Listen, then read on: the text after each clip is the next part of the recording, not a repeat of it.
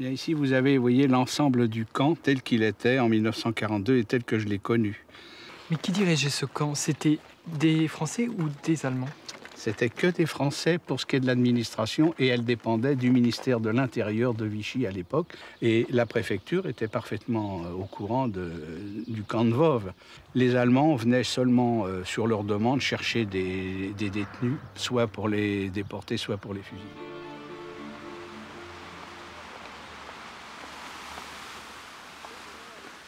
Axel, Nora et Jean-Frédéric sont en terminale littéraire au lycée Marceau de Chartres. La Seconde Guerre mondiale, ils connaissent un peu. Le programme de première n'est pas si loin et avec leur professeur d'histoire, ils ont participé à un concours national de la résistance. Avec nous, ils ont eu envie de se plonger dans l'histoire de leur ville sous l'occupation.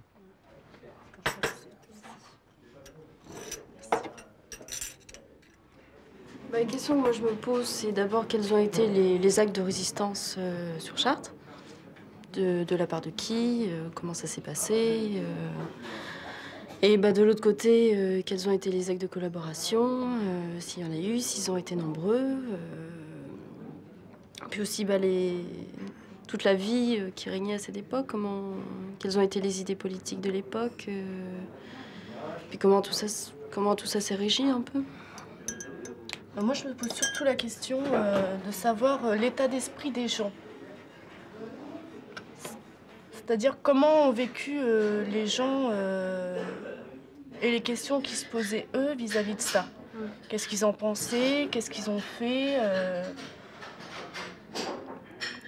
En fait, la vie, la vie au quotidien. La cathédrale de Chartres. Avant même le début des hostilités, on lui a retiré ses vitraux. 1er septembre 1939, les hommes valides sont mobilisés et envoyés sur le front. 20 000 soldats d'Eure-et-Loire partent dans le nord et dans l'est. C'est la drôle de guerre jusqu'en mai de l'année suivante. En quelques jours, l'armée allemande détruit les positions françaises, franchit les Ardennes et la ligne Maginot et envahit le pays. Le 19 mai 1940, à Chartres, le terrain d'aviation est bombardé par les Allemands. Comme tous les 11 novembre, c'est l'armistice de 1918, mais aussi les morts de toutes les guerres que l'on célèbre. Chartres a perdu plus de 650 hommes entre 14 et 18 et près de 400 personnes, militaires ou civiles, durant la Seconde Guerre mondiale. Bon nombre de ceux qui assistent à cette cérémonie ont vécu les heures noires de l'occupation. Les lycéens vont en rencontrer certains. L'hommage à Jean Moulin. Avant d'être le fédérateur et le héros de la résistance nationale, Jean Moulin était préfet d'Eure-et-Loire entre janvier 39 et novembre 1940. Pour Chartres, le résistant de la première heure.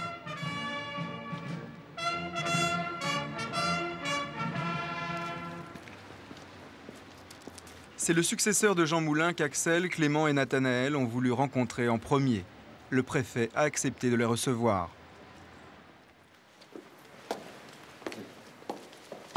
Bonjour mademoiselle. Bonjour monsieur. Bonjour monsieur. Je suis très heureux de vous accueillir à la préfecture de Chartres. Merci. Et je vous accueille tout de suite euh, en vous présentant le portrait de Jean Moulin par euh, le peintre Gabriel Loire, dont vous avez sûrement entendu parler, qui était maître verrier à Chartres et peintre. Et son bureau, qui est ici, qui n'est pas dans son emplacement normal, euh, puisque j'occupe actuellement son bureau. Mais aucun préfet, au fond, euh, n'a osé peut-être s'installer à ce bureau pour y travailler. Pourquoi? Pourquoi? Parce que peut-être se sent-on un peu indigne de Jean Moulin et de ce qu'il représente, encore que pour nous, euh, pour nous tous, pour tous les préfets de France, c'est une espèce d'exigence morale euh, que l'action de Jean Moulin. Je peux vous amener peut-être dans mon bureau, qui était le sien, si vous voulez. C'est là que le 17 juin 40, quelques heures après l'arrivée de l'occupant, Jean Moulin refuse de signer un document rédigé par les Allemands accusant des soldats français d'avoir massacré des civils de la région. Est-ce que vous connaissez maintenant, avec le recul, quelle était l'ambiance dans cette préfecture? Entre euh, obéir à Vichy et euh, un élan de résistance de, la part de Jean Moulin? Le tiraillement, il est patent avec euh, Vichy et, l'action du préfet à cette époque. Car nous sommes au début de la guerre, il faut faire face à la débâcle. Une bonne partie du pays est partie sur les routes. À Chartres, il n'y a plus rien qui fonctionne. Euh, on a même volé la voiture du préfet, des soldats sans doute ont volé sa voiture. il est totalement démuni, il n'a plus de personnel, il n'a plus de gendarmes. Les gendarmes sont partis. Et au fond, il décide de rester. Contrairement à beaucoup de fonctionnaires, il décide de rester. Et s'il y a eu des tiraillements à ce moment-là, c'est entre la faiblesse finalement de l'homme, tout seul, et le, le, poids de la responsabilité qui pesait sur ses épaules. À 10 km de Chartres, le site de Latay. Dans la nuit du 17 au 18 juin 40, les Allemands y ont enfermé Jean Moulin avec les restes humains de civils tués lors des bombardements. Ils espèrent ainsi lui faire signer le document qui compromet l'armée française. Le lendemain, Jean Moulin tente de mettre fin à ses jours en se tranchant la gorge. Pendant cette heure, j'ai été mis à la torture physiquement et moralement. Je sais qu'aujourd'hui, je suis allé jusqu'à la limite de la résistance. Je sais aussi que demain, si cela recommence, je finirai par signer. Et pourtant, je ne peux pas être complice de cette monstrueuse machination. Je ne peux pas sanctionner cet outrage à l'armée française et me déshonorer moi-même. Je sais que le seul être humain qui pourrait encore me demander des comptes, ma mère, me pardonnera lorsqu'elle saura que j'ai fait cela pour que des soldats français ne puissent pas être traités de criminels et pour qu'elle n'ait pas, elle, à rougir de son fils. Extrait de premier combat du préfet Jean Moulin, juin 40. je trouve ça bizarre qu'il ait évoqué sa mère. parce que c'est quand même un texte dirigé euh, pour sa patrie et euh, sa mère qui apparaît. Je trouve aussi que ça montre que la résistance a des limites, qui dit que il est, bah, il va, il va finir par signer, donc euh, à un moment il va s'arrêter. À un moment on craque. Entré dans la clandestinité, Jean Moulin consacre les années qui suivent à la résistance. Il est arrêté par la Gestapo à Caluire, dans le Rhône, et torturé par Klaus Barbie. Pour en savoir plus, Axel Lénora rencontre Pascal Horry, historien et adjoint au maire de Chartres. Alors, je crois qu'il y a une première question qui vous intéresse surtout, c'est euh, bah, un peu la vie de Jean Moulin euh, avant, son arrestation et son action sur Chartres ou sur toute la France d'ailleurs. Bah, c'est une action qui n'est plus du tout chartraine à partir du moment où il est révoqué par, euh, par Vichy à la fin de l'année 1940. et il essaye tout de suite de prendre contact avec la résistance. Simplement prendre contact avec la résistance, ça se heurte à deux difficultés. Il faut déjà qu'il y ait une sorte de résistance bien organisée, ce n'est pas tout à fait évident à cette époque-là il est quand même parmi cette poignée de, Français qui ont décidé d'agir dès l'année 40. Donc il va mettre plusieurs mois à repérer des mouvements de résistance organisés et d'autre part prendre contact, c'est quand même assez dangereux. Donc euh, je dirais qu'il lui faudra à peu près six mois pour rencontrer des, responsables, des dirigeants, parce qu'il se situe d'emblée à un haut niveau. Vous savez, un préfet qui accepte de plonger en fait dans la clandestinité assez vite, c'est rarissime. Hein. Donc lui vise très haut. Et un an plus tard, il pourra, non sans difficulté et de manière donc clandestine, gagner Londres, rencontrer le général de Gaulle, qui tout de suite fera de lui son représentant en France, alors que ces deux hommes ne se connaissaient pas la veille. Hein. Et puis, euh, bon, il a continué à circuler entre Londres, mais assez rarement, et euh, euh, la France occupée. Et finalement, il a organisé le Conseil national de la résistance en 1943, qui était une structure qui fédérait tous les mouvements de résistance en y intégrant les partis politiques d'avant-guerre, ce qui n'allait pas de soi. Et euh, cette réunion fondatrice a eu lieu à Paris en 1943, en mars. Malheureusement, ça a été la seule, parce que euh, quelques semaines après, étant obligé d'organiser une réunion technique à, Lyon, Jean Moulin a été, euh, avec les autres participants de cette réunion, arrêté. il n'a pas été reconnu comme Jean Moulin tout de suite, mais il a été quand même torturé et au moment de son déplacement vers l'Allemagne, il est mort. Euh, il est mort dans le train euh, qui le conduisait en, Allemagne, des suites de ses, blessures, enfin de ses, tortures. C'est donc une image de martyr qu'il a, qu'il a laissée. Et, d'emblée, il est apparu comme euh, le résistant par excellence, puisque c'était un haut fonctionnaire qui n'avait pas failli. Déjà à Chartres, en, en 40, il était resté alors que les autres élites avaient failli, hein, c'est quand même fondamental. Euh, il rejoint le général de Gaulle, le civil et le militaire se reconnaissent du premier coup d'œil, et, il meurt en héros. Donc évidemment, euh, sur ce plan-là, sa figure était absolue. Accompagné par M. von Ribbentrop, ministre des Affaires étrangères du Reich, le chef de l'État... Le 22 juin, le maréchal Pétain a signé l'armistice. La moitié de la France est occupée par les Allemands. Le gouvernement s'est installé à Vichy. Le 24 octobre, Pétain rencontre Hitler à Montoire, dans l'Eure-et-Loire. À quelques kilomètres de Montoire, Chartres, le drapeau nazi flotte à l'entrée du lycée Marceau, investi en partie par les soldats allemands. Un garçon de 16 ans retrouve les bancs de son école, déserté par les élèves depuis le départ en exode. Après-guerre, Roger Joly devient professeur, puis historien de la ville. Bonjour jeunes gens. Mais vous êtes lycéen? Oui. Mais ça n'était plus le lycée pourtant ici. Oui, justement, on fait un petit retour euh, enfin, quand on arrive. Visitez les lieux Voilà. Et moi j'y faisais un pèlerinage parce que j'y ai été élève. Très rapidement, nous avons eu droit à une lecture, sans doute par le professeur euh, de lettres, de l'appel du maréchal Pétain à la jeunesse. Alors, c'est là que j'ai appris d'ailleurs des termes que j'ignorais, euh, qu'il fallait réemblaver les jachères. Je savais, moi qui n'étais pas paysan, je savais pas ce que ça voulait dire. Je l'ai appris à cette occasion-là. Alors, on nous a raconté évidemment que l'esprit de jouissance l'avait emporté sur l'esprit de sacrifice et que c'est pour ça que nous avions perdu la guerre.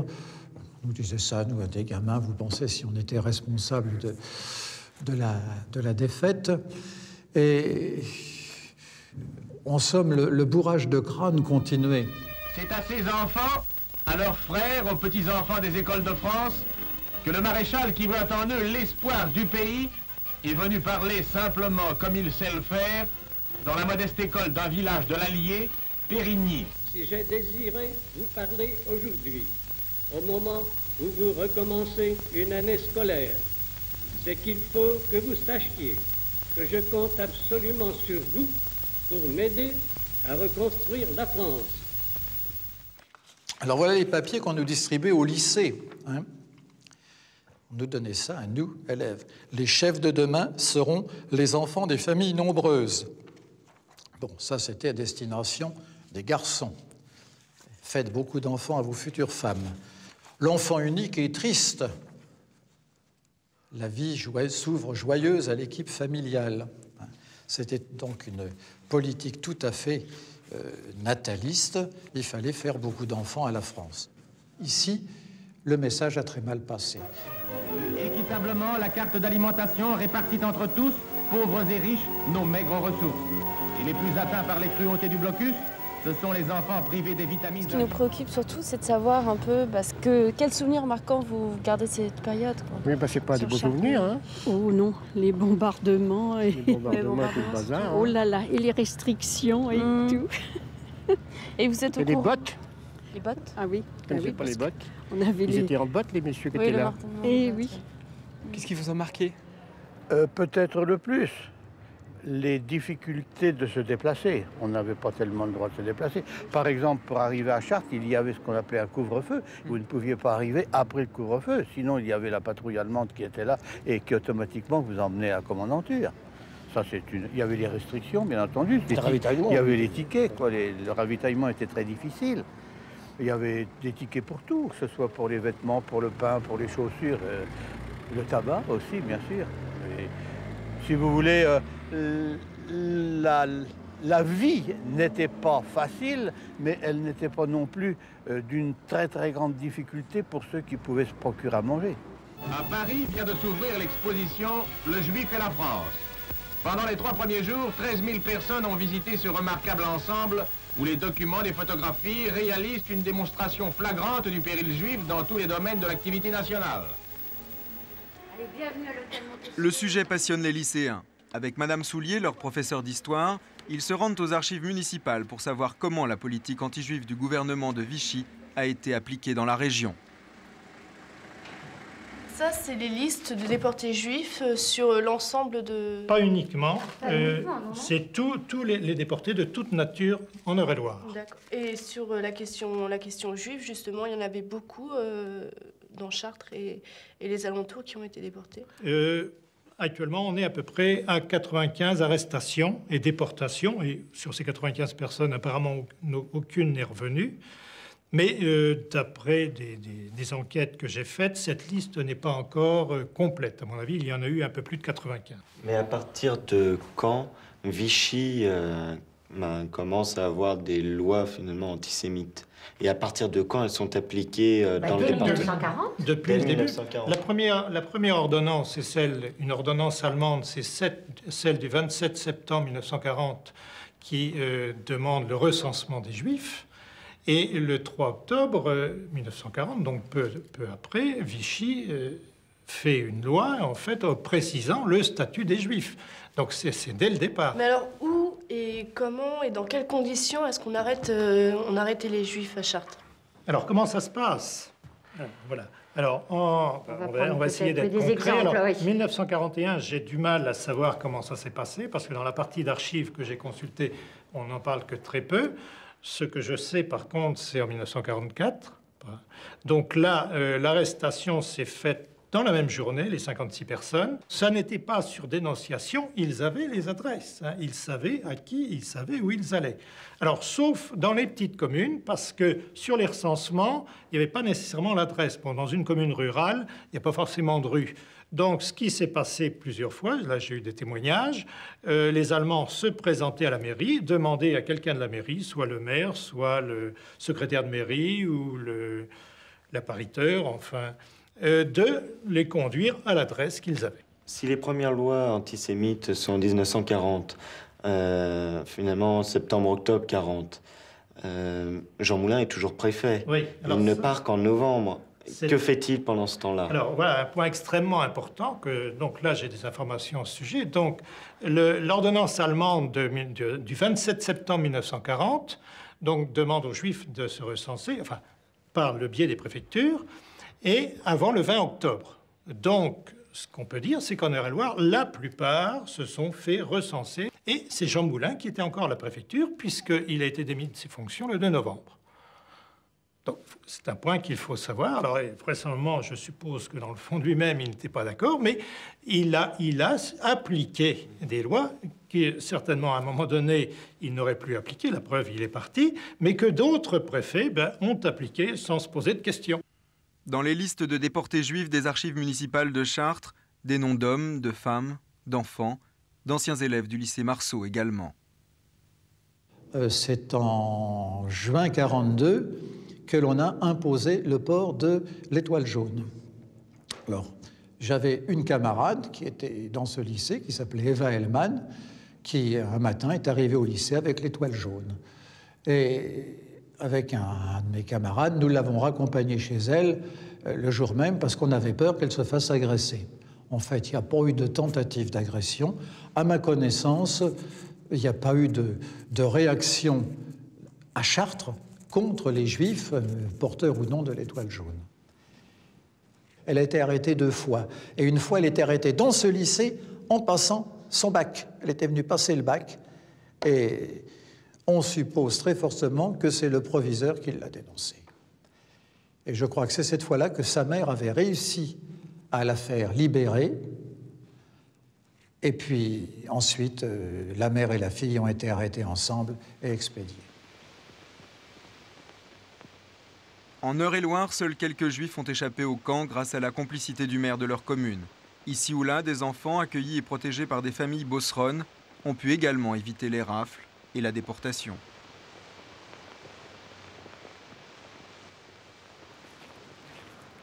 En 1942, la zone libre est envahie. Partout en France, la résistance s'organise. Le mouvement FTP communiste est présent et actif en Eure-et-Loire. Les résistants sont traqués par les autorités françaises et allemandes. À quelques kilomètres du centre de Chartres, le monument de Chavannes témoigne du martyr des patriotes. Concrètement, quelles étaient les actions de la, de la résistance Pratiquement, la résistance, c'était faire tout ce qu'il était possible de faire pour nuire à l'occupant par tous les moyens, quels qu'ils soient.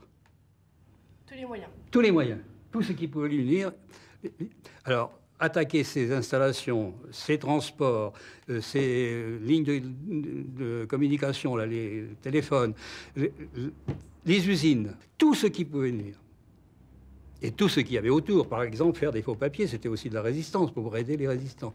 Mais on se les procurait comment ces cartes? Parce qu'il y a quand même un tampon euh, d'autorité allemande. Oui, euh, bah, c'était toute l'histoire des fausses cartes d'ailleurs, hein, que ça c'était la mienne, mais j'en ai procuré beaucoup euh, pour les résistants qui étaient clandestins, mais également et surtout pour les jeunes du STO réfractaires qui ne partaient pas, pour lesquels il fallait. Alors c'était tout simplement par le canal des mairies, des secrétaires de mairie, souvent avec la complicité du maire, qui établissait la carte, qu'il envoyait par le circuit normal à la préfecture, qui revenait. Est-ce que vous pouvez nous parler un peu de, des problèmes que vous avez connus, euh, ceux qui ont été arrêtés ou les problèmes avec l'armée allemande, enfin les, problèmes que, vous avez rencontrés en tant que, que résistant? Donc, euh, le mouvement FTP a été démembré à partir de, juillet 43 jusqu'au printemps 44, les groupes les uns après les autres, euh, par des méthodes que tout à l'heure. Il y a eu de nombreux FTP d'arrêtés qui se sont traduites par euh, des arrestations, bien sûr, arrestations par la police française, qui ensuite les remettait aux autorités allemandes, qui, eux, ont, euh, bon, arrestation, euh, emmené dans les prisons parisiennes. Je sais que pour le Loire, ça a été Fresnes. Et il a été organisé un procès euh, dans la cour même de la prison de Fresnes. Et euh, 31 ont été condamnés à mort et euh, fusillés au Mont Valérien le 30 mars 1944. En 1943, beaucoup d'hommes rejoignent la résistance pour échapper au service du travail obligatoire en Allemagne, le STO. Certains sont arrêtés avant d'avoir pu entrer en action. C'est le cas de Denis Cureau. La rue des eh ben, ils nous ont descendus un à un, et puis ils nous demandaient notre nom, notre prénom. Alors là, ils ont commencé à enlever les, les lacets des chaussures, les ceintures, ceux qui avaient des bretelles, ils enlevaient tout ça, ils mettaient ça dans un petit sac avec un numéro. Mais ils nous avaient alignés dans la cour, tout, et ils nous rentraient euh, un par un, et puis ils nous ont mis en cellule, là, dans, la journée du, du 13 décembre 43. Quoi. Là, nous sommes restés euh, quatre semaines. Alors, de temps en temps, ils prenaient des, des personnes pour emmener à la Gestapo le matin, puis les ramener le soir. Alors les gars, ben, le soir, il était tout, tout, tout éreinté. Il y en a, il avait des bleus et tout ce qui s'ensuit. Il avait pensé à la bastonnade à la rue des Vieux Capucins, quoi. Et puis, notre tour a arrivé aussi. On y a été à la fin de la première semaine. J'ai réussi à tenir le coup. Je connaissais des, gens, mais euh, j'ai réussi à tenir le coup, alors c'est ce qui nous m'a sauvé un peu. Mais enfin, il y a des camarades qui n'ont pas, pas, pu s'en passer au travers. En janvier 1944, après un mois de torture et de mauvais traitements, Denis Cureau est déporté en Allemagne. Première étape vers Buchenwald, Vove, à 40 km au sud de Chartres, un camp d'internement. 1500 hommes y ont transité entre 1942 et 1944, avant les camps ou le peloton d'exécution. Bien peu en ont réchappé. Quelle était la vie dans le camp de Veuve au jour le jour? Il faut dire que le camp était organisé par les détenus eux-mêmes et les aspirations de tous les internés étaient seulement réglées par les problèmes d'évasion. Il fallait à tout prix essayer de s'évader pour, euh, pour rejoindre la résistance parce que, en fait, Vov, c'est un camp où il y avait pratiquement que des combattants. Chaque baraque était constituée ce qu'on appelait des familles. Alors, une famille, c'est-à-dire que tout le monde était pris en charge sur le plan égalitaire. C'est-à-dire que la nourriture était d'une part officielle distribuée par l'administration, entre guillemets c'était de la merde, et d'autre part, tous les colis qui arrivaient étaient répartis entre nous. Je crois que c'est à Vogue que je me suis fait, que je crois que je suis devenu un homme dans le sens véritable, à savoir la fraternité et l'écoute des autres. Mais le camp à sa manière résiste, et on pense déjà à l'après-guerre. Les internés ont organisé une université et développé des spectacles. Bien ici, vous avez, vous voyez, l'ensemble du camp tel qu'il était en 1942 et tel que je l'ai connu. Mais qui dirigeait ce camp? C'était des Français ou des Allemands? C'était que des Français pour ce qui est de l'administration et elle dépendait du ministère de l'Intérieur de Vichy à l'époque. Et la préfecture était parfaitement au courant de, du camp de Vove.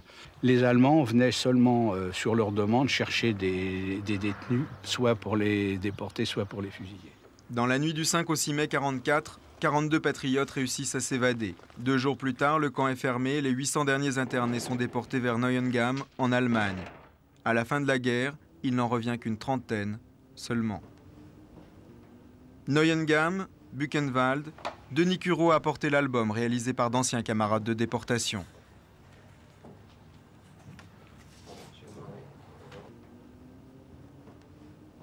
Mais en étant dans ces camps, vous n'aviez pas l'impression de rentrer en enfer ou quelque chose comme Ah ça, bah, ou de rêver C'était tout comme. hein. Et on n'y on n'y pensait pas. hein. On Mm. dit, c'est pas possible qu'il nous arrive ça, c'est pas possible. Si, c'était vrai. hein. Ah ouais, oui. Puis alors, de voir tous ces morts, tous, tous les personnes âgées euh, euh, qui tombaient, qui pouvaient plus se traîner, euh, c'était incroyable. Non, non. Alors, quand est-ce que vous êtes rentré chez vous? Ah bah, à la fin, à la fin de mai. À la fin de mai, oui, 28 mai, oui. Ça s'est que- passé comment? Ah, C'était terrible. J'ai retrouvé toute sa famille comme ça. c'est- Ça devait être une joie immense. Oui. Et puis avant, c'était les copains qu'on avait arrêtés. Ils ne voulaient pas rentrer à la commune parce qu'on ne savait pas si les autres étaient rentrés. C'était ça le pire. On ne se reconnaissait pas.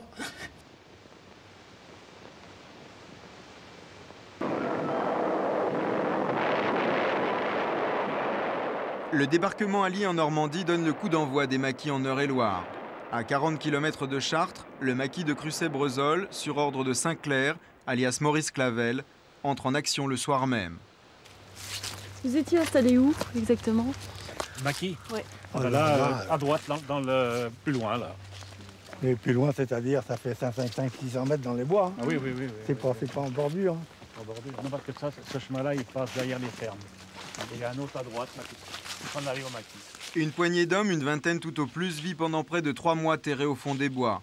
Sur des cahiers d'écoliers, Jacques Raymond Dive, aujourd'hui disparu, a dessiné les plans de son maquis. C'était quoi le but du maquis exactement? Harceler les, les Allemands sur les routes pour pas que les munitions et les, et les engins arrivent sur le front de Normandie. On, on a, on abîmait le plus possible sur la route. Quoi. Est-ce que vous pensez que les maquis ont joué un grand rôle dans l'histoire?